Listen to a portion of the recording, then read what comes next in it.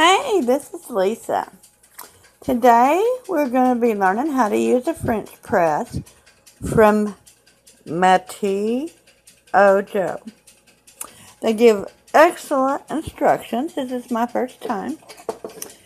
Basically what you do, I'd already heated up the water to make this faster. And you pour it into your French press.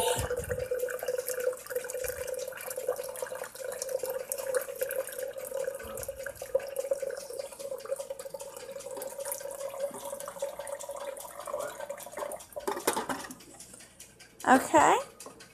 Now, I also have already ground up my French vanilla coffee beans. This is the first time using coffee beans, so I'm really impressed with the flavor. I use my NutriBullet for a coffee grinder, and it did really great. So it says take like one or two tablespoons to put in your coffee. So I'm going to put the phone down for a minute. Alright, I stirred it really well.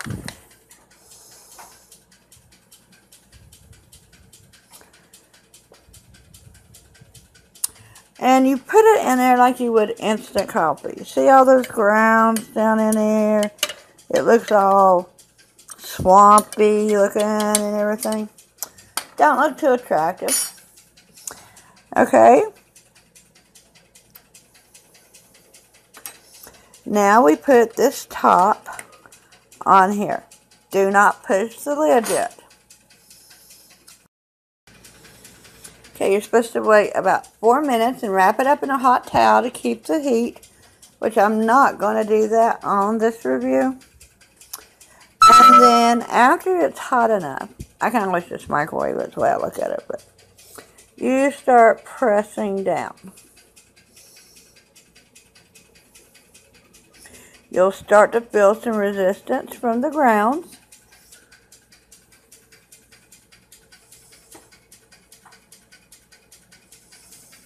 And now you're supposed to be able to pour your ground-free coffee.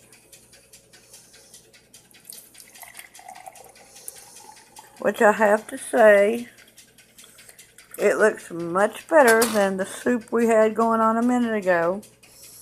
I don't see any grounds in my coffee. Mmm, that's a different flavor a little strong. And considering the fact this is sort of weird like instant, but it's not instant. It's good. It's stronger than I'm used to. And just, I can't taste the French vanilla much. It has a really robust taste to it that I like. But that is how easy it is, and see right there on the bottom of that, no coffee grinds. They are all underneath the bottom. So when you go to clean it, it should be very easy to clean. You just rinse it out, and you're ready to make, make your next French press coffee. You can make a cold brew, and I'm sure there's tons of recipes to go along with using a French press. This is Lisa. I hope you really learned something from my video. I know I did because this is my first time using a French press. And if I was able to help you in any way, shape, or form, please leave a comment in the section below or hit that like button for me. Thank you.